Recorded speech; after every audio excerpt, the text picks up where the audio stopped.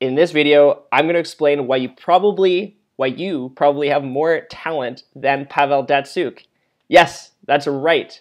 You have more talent than Pavel Datsyuk.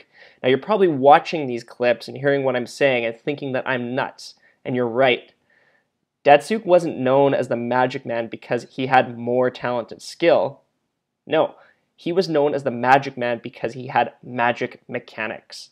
His mechanics allowed him to use less skill to achieve more magic. Confused? Did you know that cross country skiers have way more aerobic capacity than runners? So their lungs and hearts can process oxygen way better than runners. But if you put a skier in a running race with a runner, the runner wins every time. Why? Because the runner has better mechanics. Datsyuk has better mechanics than most players. At Train 2.0, we call them magic mechanics. His mechanics literally make it easy for him to display magical skill. Your mechanics make it hard to display magical skill. You've practiced all these drills to develop your hands, but the mechanics you're using are making it really hard, kind of like a skier trying to run. The most important part of Datsyuk's magic mechanics is his hip movements.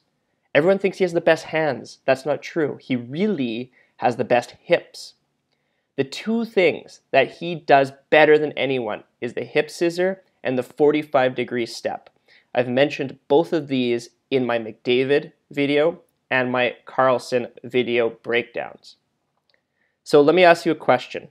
What if you had more talent and skill than Datsyuk and you had just been taught the wrong mechanics? What if there was a way to literally make a quantum leap in your development?